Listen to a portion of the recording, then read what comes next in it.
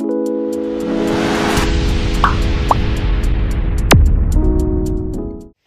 up guys? So, for today's video, pakita ko kung anong laman inside the box pag bumili kayo ng M92. So, buksan na natin. Actually, nabuksan ko na ito eh. Papakita ko lang kung ano yung laman. So, sa loob ng box, mayroong manual. So, ito yung manual niya. Nakalagay na airsoft 6mm na BB yung gagamitin. Bawal din siya sa ano. Nakalagay sa manual, bawal din yung sa mga spark tsaka sa apoy. Then pag ginamit mo siya, kailangan hindi lalagpas sa 40 degrees yung ano niya.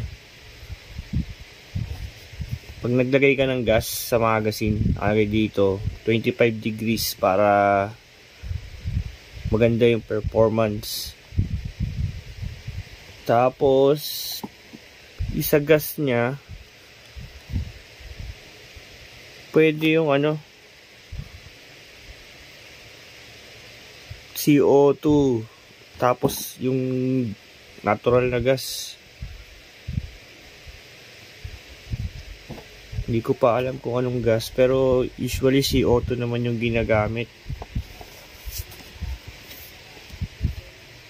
CO2 na gas. So ang itsura niya ganito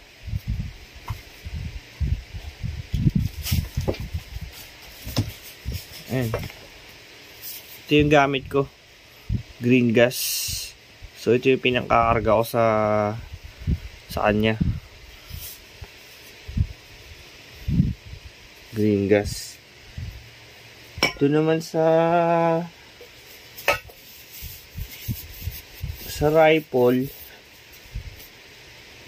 pwede rin naman yun pero ito ginagamit ko eh sa rifle ay. Wala namang nakalagay dito. Pero ito sa handgun ito yung gamit ko. So dito naman sa ano kung gusto niyo na sa online nyo titignan yung ano manual scan nyo lang to sa cellphone So, makikita nyo na dun yung manual, tapos yung mga parts. I-scan nyo lang to. Ito lang yung ano niya eh. Yung manual niya, isang page lang. Yan. Tapos, ito yung sa binilhan. So, ito. Ito yung unit niya. Kasama lang naman niya magazine. Yan, full stainless. Ito yung lagay ng gas pagwi then yung unit. Yan yung unit. The rest wala naman na. Yung unit ayan yung unit. So mga lock niya okay. Yan. Safety. Okay.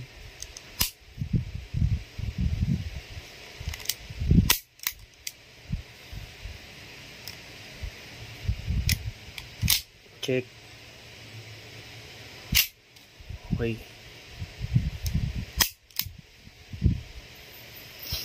So, gumagana naman lahat.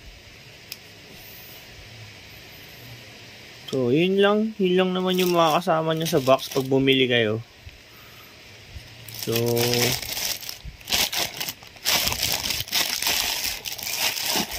ayan. meron naman ako mga video kung paano siya i-testing eh. So, yun. Pwede nyo panoorin doon. Salamat!